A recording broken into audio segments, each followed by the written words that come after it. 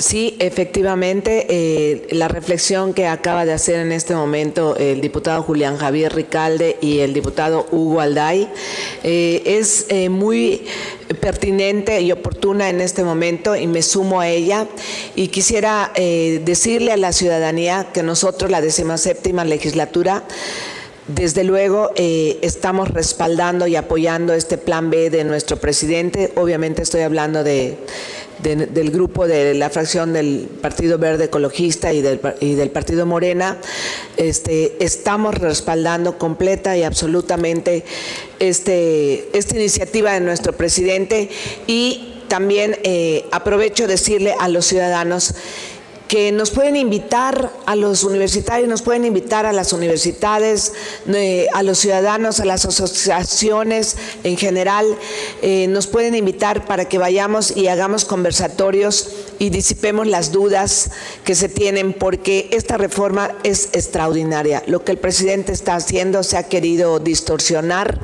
Eh, los medios de comunicación a modo de las oligarquías y de los que perdieron sus privilegios y de los que desean seguir manipulando las elecciones, porque eso es eh, realmente lo que está pasando están desinformando a la ciudadanía, están generando una crisis en la información en la cual lamentablemente la gente que, adolece de, pues de conocimientos o de estudios o de preparación o de sentido común suficiente eh, cae, cae en la trampa, cae en la provocación cuando se está haciendo una muy buena, muy buena adecuación a lo que a lo que el INE debe de ser. Pues el INE se ha dedicado a robar elecciones, ni más ni menos que aquí lo vivimos, ¿no? Pues Morena ganó la elección en solidaridad y fue el INE la que la la, que la robó. Entonces, ¿cómo no vamos a apoyar esta iniciativa? Sabemos que a través de, los institutos electorales se han operado grandes fraudes y se han seguido operando. Digo, reconocieron nuestro triunfo en el 2018 porque era imposible tapar el sol con un dedo. ¿Cómo decirle a treinta y tantos millones de mexicanos que no ganamos? Obvio, no, no podían hacerlo.